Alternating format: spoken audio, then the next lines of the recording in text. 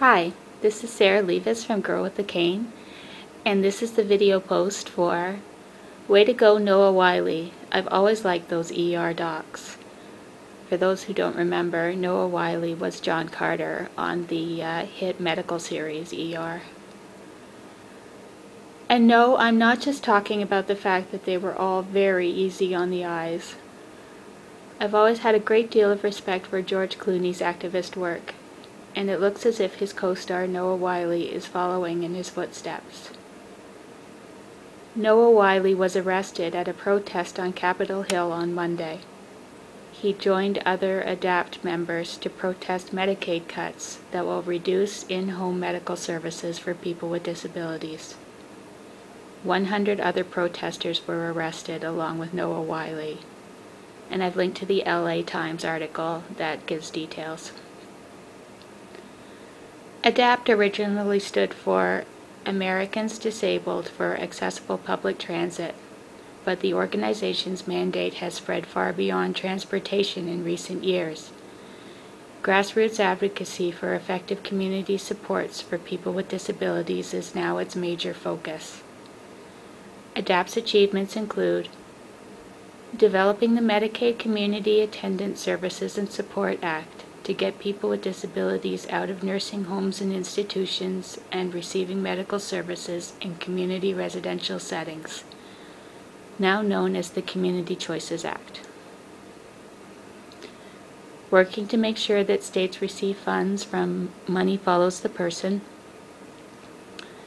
developing the Access Across America campaign for housing for people with disabilities, training chapter leaders, operating two national bases in the United States, and publishing a, a, a, quarterly newsletter. And I've linked to a Wikipedia article on ADAPT. But back to Noah Wyle. I really admire celebrities who obviously have a lot invested in maintaining a certain image, who are willing to take a risk and stand up for their beliefs.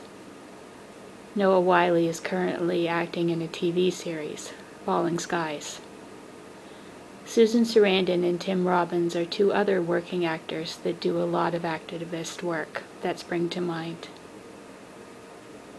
Obviously, any volunteer's time and energy is valuable for a nonprofit struggling to get its energy out there. And it's amazing when you find people committed enough to a cause to be arrested for it. But it doesn't get in the news when us regular Joes get arrested a star willing to get arrested for a cause. That gets us in the news. Noah Wyle was aware that he could get arrested, and he went through with this anyway, and that restores a bit of my faith in Hollywood. Thank you, Noah. And two others that have a lot to lose. And as a person that would like to work in social services again, and could therefore have a lot to lose from an arrest, I'd like to thank the teachers, social workers, healthcare workers, etc., that undoubtedly show up at protests like this. I know what you're potentially risking for your beliefs. You truly rock. ADAPT is taking national action in Washington, D.C. until April 26, if anyone still wants to join. And I've linked to ADAPT's website if anyone wants to find out more about them. And that's it for today. Thanks for listening. We'll see you next time.